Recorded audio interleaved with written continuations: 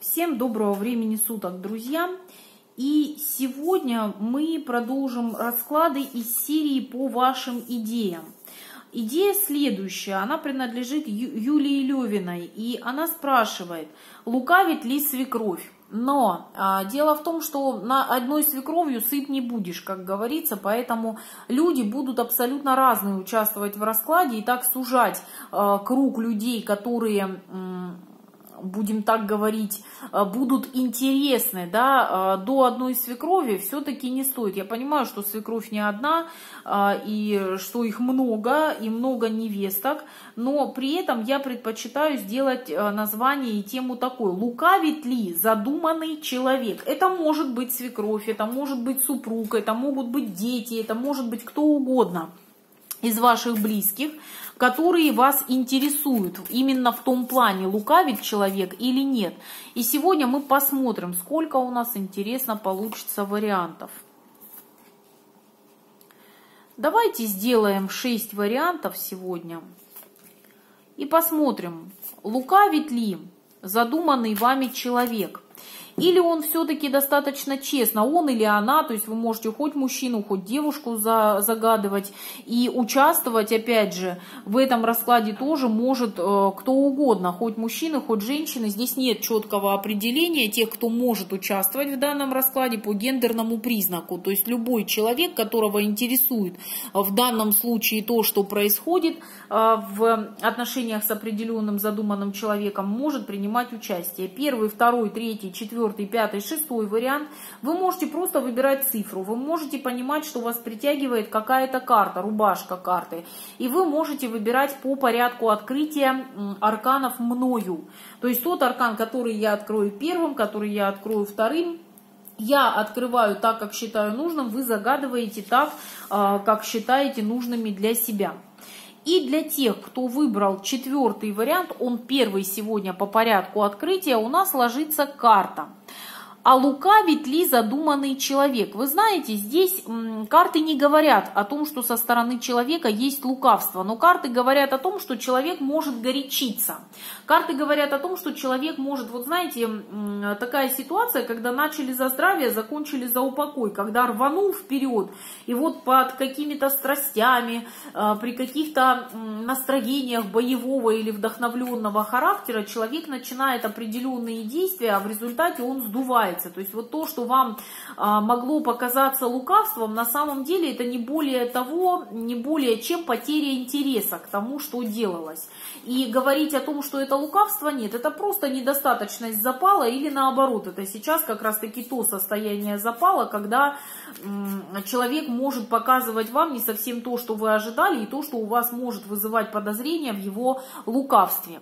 Для тех, кто выбрал у нас вторую позицию, и, о чудо, она вторая по порядку открытия. Здесь мы видим с вами картину, которая говорит о том, что да, человек лукавит, человек обманывает, э, то есть это вплоть до обмана умышленного может быть, и в данном случае вот человек не просто лукавит и обманывает, он еще и может вас этим устрашать, но в то же время человек может скрывать под таким поведением какие-то свои страхи, незрелость и просить вот таким образом о помощи вас. То есть он подает странные сигналы или она, да, и вам кажется, ну все, брешет как сивый мерин, да, как лиса.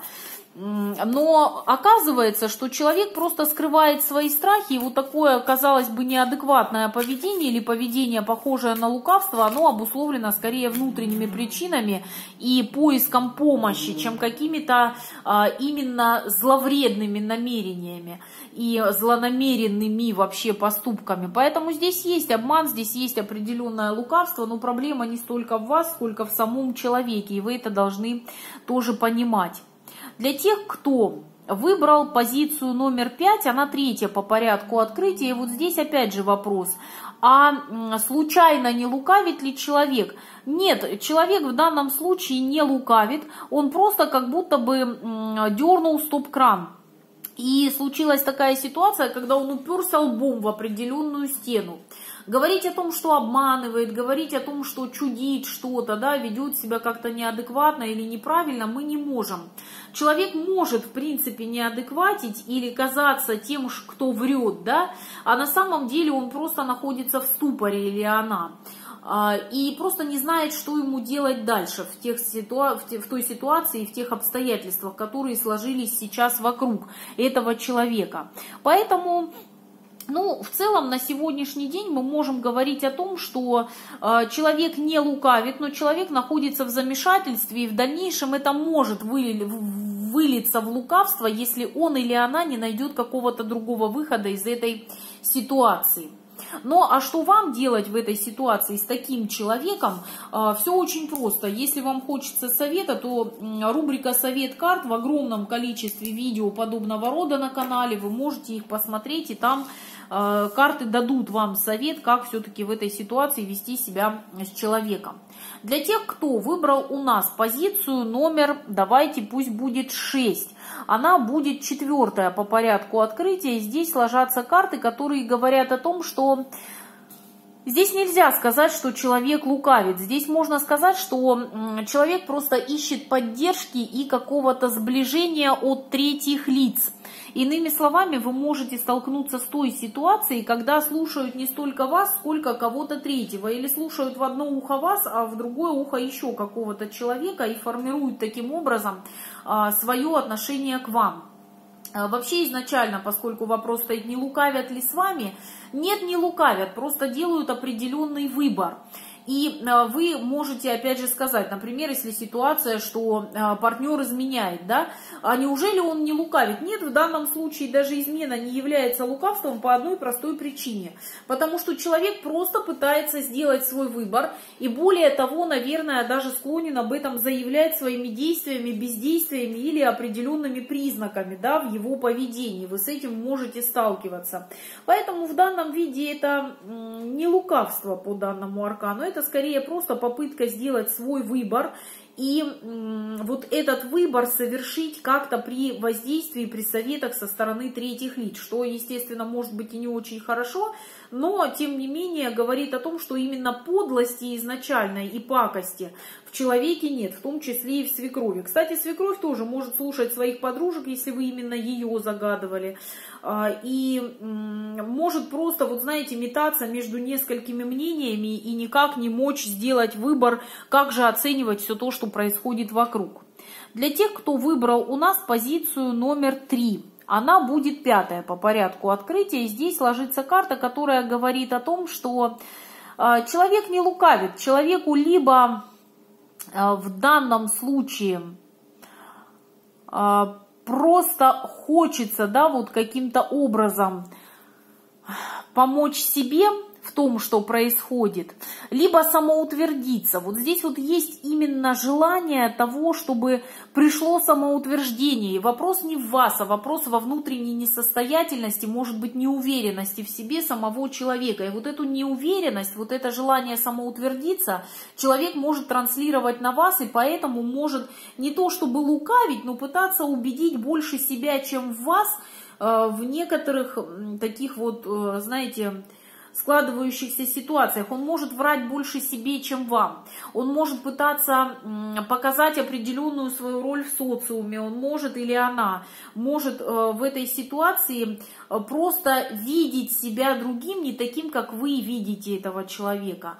А, то есть отсюда, вот видите, как все запутано случилось. На самом деле все просто. Человек жаждет самоутверждения.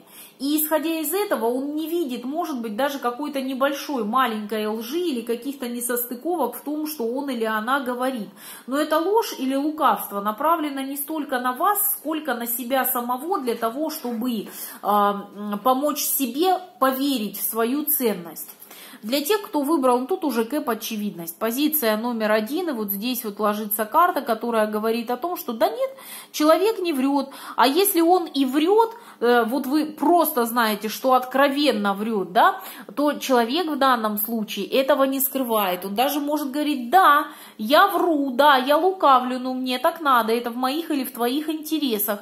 Или человек это может делать настолько обаятельно, что вы будете принимать все за чистую монету. Но в целом это та карта, которая говорит о том, что человек достаточно открытый, просто нужно найти к нему подход, если вас что-то не устраивает. И на самом деле вот эта карта, она не свидетельствует о лжи и говорит о лукавстве, а говорит о том, что скорее всего, что за вашей спиной, что вам в глаза, человек может говорить приблизительно одно и то же, но действовать иногда на эмоциях, делиться с третьими лицами тем, что происходит, иногда может быть несколько настойчивее, чем вам хотелось бы, то есть может быть определенные моменты, которые говорят о продавливании. Вот такой у нас интересный получился сегодня а, расклад.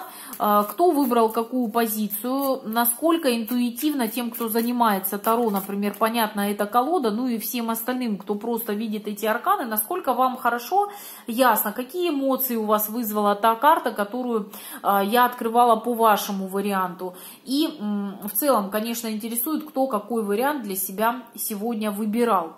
Для тех, кто хочет оставить свои идеи для общих раскладов, я в прикрепленном комментарии оставлю специально специальное видео, под которым это делается, потому что сколько бы я не оставляла эту ссылку, сколько бы ни говорила, находятся те, кто в танке до сих пор у нас находится, и не понимают, что если просто под общим раскладом оставлять какие-то свои идеи, то они, естественно, затеряются. Раскладов в районе 3000 на канале, и, естественно, все 3000 раскладов обойти и посмотреть – будет затруднительно. Я этого просто делать не буду. Просто перед тем, как я а, собираюсь записывать расклады, я сажусь, открываю вот то самое видео и просматриваю, какие есть идеи, какие из них будут актуальными, на какие из них можно действительно снимает ролики.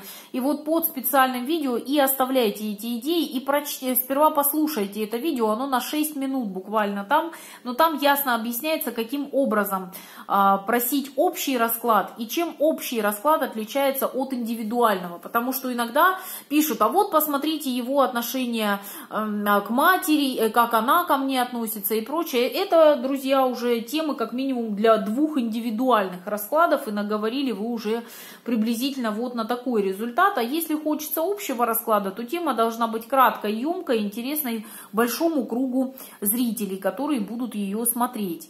А, для заказа любого, на любую тему расклада индивидуального для себя вы можете писать мне в личку. Все мои контакты в текстовом описании данного видео. А я всем желаю удачи, до встречи, до свидания.